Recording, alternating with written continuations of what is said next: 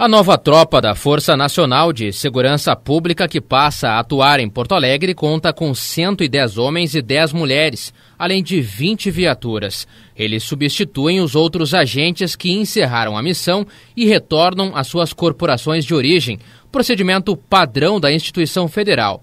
A apresentação do novo efetivo, responsável por combater homicídios e feminicídios, ocorreu na Secretaria da Segurança Pública na capital. Queria lhes dar as boas-vindas ao Rio Grande, agradecer muito aos senhores e às senhoras da Força Nacional, ao seu comando, seja o que saiu, seja quem está entrando, também a, a, ao Ministério agora da Segurança, o ministro Jugman, agradecer muito, cumprimentá-los e nos colocar sempre aqui à disposição para que possamos realmente, cada um de nós, nas nossas diferentes instituições, mas de forma integrada, cooperada, de forma colaborativa, eh, construir uma realidade diferenciada no enfrentamento do crime e da violência aqui em Porto Alegre e no Rio Grande do Sul. Na cerimônia, Schirmer também anunciou a troca de comando de duas instituições que compõem a secretaria.